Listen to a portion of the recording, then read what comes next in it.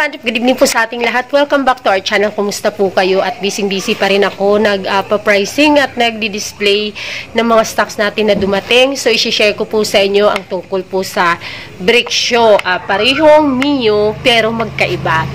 Okay, pareho silang brick show ng Mio pero magkaiba. At uh, para sa susunod nating video, isi-share ko rin sa inyo itong brick show ng... Aray, wait lang, nasa box pa. Ayan ng pang HD3 dahil napakaraming gumagamit ng brake ng pang HD3 so ayan may 50 pieces tayong dumating na HD3 na, ba, na branded at mayroon tayong 200 pieces na uh, pang HD3 na hindi branded. So bakit hindi branded? Mas marami kasi mas maraming ano kumbaga uh, yung medyo mas mura palaging mas maraming um, yun ang choice nila Okay, so pag-usapan natin itong uh, break show ng pang Mio uh, dahil mayroon tayong dapat malaman tungkol dito. Okay, so let's go. So nandito na sa ating harapan ang dalawang break show na magkapareho na pang Mio pero magkaiba. Ano ibig sabihin nun? Pareho silang pang Mio pero mukha silang magkaiba. Actually, itong mga pang Mio na ito, mga ka-antrip, is um, maraming mga gumagamit nito para sa likod na brick, uh, brick show. Tulad ng Mio Soul, Mio Sporty, Mio Soul uh, 115 Fi, Mio Soul i125, Mio i125, Mio 125 MX, Mio 125 MXI, tapos yung mga Sniper 135 sa likod niya, YTX 125, ayan siya. Pero ito, halimbawa ito, magkaibang brand kasi sila. Itong GPC at saka itong um, na to, CSL na, ayan, CSL na brand. So, pasensya na dahil ang kanan ko ay naghahawak ng cellphone at itong kaliwa ang ating taga ni Obra para, ano, pang mabilisan lang kasi na ito, na, na video to. So, buksan natin ito ngayon. Okay, ito yung sa CSL. So, pang Mio ito siya. And then, i-compare natin, tingnan natin dito sa pang Mio ng GPC. Ayan. Okay, so sa unang tingin, talagang pareho lang sila kung hindi natin susuriing mabuti. Actually, itong uh, sa GPC brand, ito yung masasabi nating magandang brand, high quality.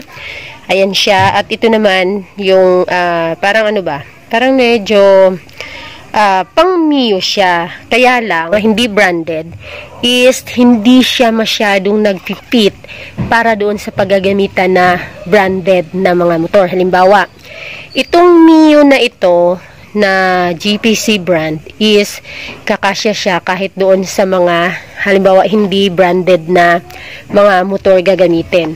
Pero ito, itong ibang brand is hindi siya magkakasya kung gagamitin siya mismo doon sa mga Mio talaga na mga motor. Bakit? Ito yung pagkakaiba nila. Ayan, ayan, ang hirap.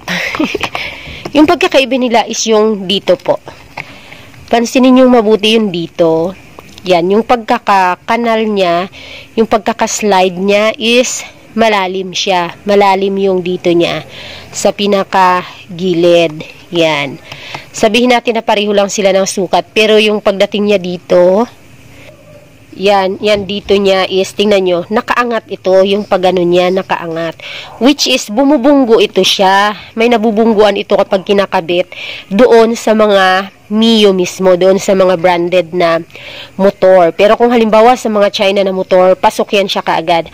So, ang ginagawa dito, halimbawa, walang ano, walang brand na ganito. Mayroon halimbawa Mio. Kagaya nito, pang Mio nga siya, ibang brand. At kapag kinakabit siya, na pag itong brand na to ang kinabit is bumabangga. Sabihin na hindi ka siya kasi ito bumabangga. Kapag sa shop, nagagawan siya ng paraan, halimbawa, ano naman, hindi lang masela ng customer is, nasasandiran yan dito. Nasasandiran siya dyan para maging kasing lalim siya nung sa ganito para wala na siyang babanggaan kapag kinabit siya doon mismo sa Mio. At saka yung pagkakaslide po dito, pansinin yung mabuti. Ang pagkakaslide dito. Yung dito masyadong mababaw. So, ibig sabihin, hindi siya fit na fit, hindi siya salpak na salpak kung isalpak siya doon.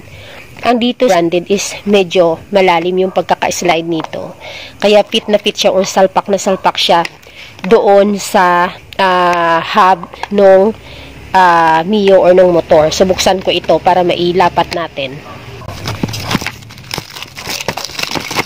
Ayan, nabuksan ko, ba? So, pansinin nyo pong mabuti yung dito na part. Dito na part. Dito, yung pagkakaslide niya malalim. Yan. Yan. Tsaka medyo mas malapad ito yung part na to compare dito.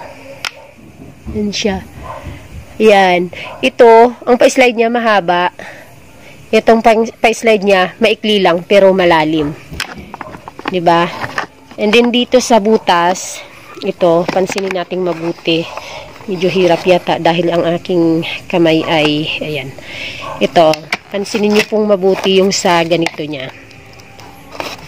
Ito po is magkaiba. Yung dito niya mahaba, mahaba yung pinag-slidean. Yan, mahaba siya na mababaw. Ito naman, yung sa branded is maikli lang siya pero medyo malalim ang pagkakaslide niya. Pareho lang sila ng laki. Yes. Oh. Pag-isukat natin. Pareho sila ng laki. Yan. Pareho lang sila ng laki. Pero yung gitna. Pareho sila ng laki ng pabilog. Ng labas baga. Yan. Pero yung sa gitna, yon oh. Ah, paano nyo ba makita? Yan. Medyo makitid itong Mio na hindi branded. Pero kapag ginagamit po yan siya, halimbawa sa mga China na motorcycle, okay naman siya, fit siya. Kagaya din siya ng mga HD3. Sa HD3, may brand na hindi kakasya kapag sa branded siya na na motor ikakabit. Pero kapag sa mga China na mga motor, salpak lang kaagad siya. Wala nang kailangan sander-sander or hindi na yung sabi na mahigpit or may nababanggaan. So, ganun din dito sa Mio. Yan. Pagkakaiba nila, branded versus hindi branded. Yan. So, magtataka tayo, di ba? Pang Mio, pero bakit masikip? So, hindi lang dyan, dito, dito, pati yung diameter nito. Pero may mga nakakabitan nito sa mga, mga China motorcycle. Actually, paubos na rin nga yung ganitong brand. Pero kapag sa mga branded, like yung mga nabanggit ko kanina, mga motor na mga gumagamit nito, is dapat talaga branded po talaga na brick show ang inyong i-purchase or gamitin. Kasi, mahihirapan kayong magkabit. Mahirap pa naman ito pang sanderin dito kasi syempre ang liit, maselan siya. So, kung hindi kayo marunong mag-sander, tapos sa inyo lang, is kayo lang ang magkabit, tamang tools lang na meron pang bukas, is mahihirapan kayo. And then sa shop naman, halimbawa, walang sander, eh, hindi talaga siya magkasya kahit na anong gawin mong tulak-tulak. Hindi talaga siya magkasya. Kasi maliban dito sa sander is yung gitna. Pero kapag sa mga ano, medyo mura kasi yung hindi branded na mga brake shoe eh. Pero kapag sa mga China naman ng mga motorcycles, yan, salpak to siya. Okay, so yun lang. Kaya dapat available ang uh, branded. Okay din na branded lahat. Para kahit dun sa mga China motorcycles, itong, is itong branded ang maikabit. Mas okay din na mayroon din nitong ano lang, kumbaga mumurahin para doon sa mga limited ang budget, pasok pa rin, makakabili pa rin sila, makakapalit pa rin sila ng brake shoes doon sa inyong mga shop na hindi na kailangan ng mga kaltas-kaltas pa.